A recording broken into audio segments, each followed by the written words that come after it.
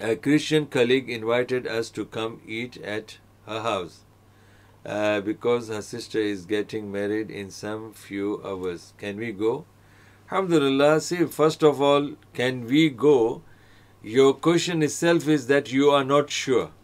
And you are not sure because I know that you think that this gathering will have haram. That's the reason. Otherwise, if it was halal, you would not ask me. You would just go and you say yes. But now you yourself know that certain things will be haram, will be there, will be there in or will be existing, or will be shown, will be uh, uh, practiced by the people in the gathering.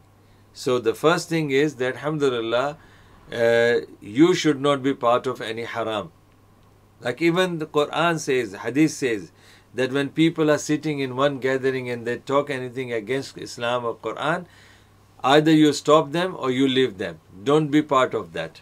So, definitely my answer is you can go as long as you know your limits and you know what are halal and haram and uh, party you can go to any party not only christian colleague you can go to any party as long as as long as you know your limits of halal and haram and like I, I, I was when I came to Islam, my friends used to, they were all Hindus in Dubai.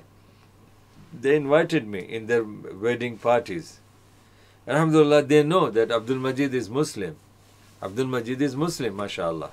And they know my nature, they know my thing that I, I will never compromise with the deen ever after I became Muslim. And they know me that if they force me, they will be in trouble.